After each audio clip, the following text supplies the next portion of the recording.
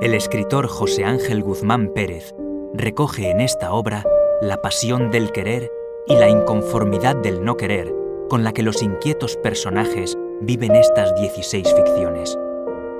Estas historias incluyen las aventuras literarias de letras y palabras que se transforman lúdicamente en seres vivos y las andanzas de mujeres y hombres que corren en busca de esperanza y vida.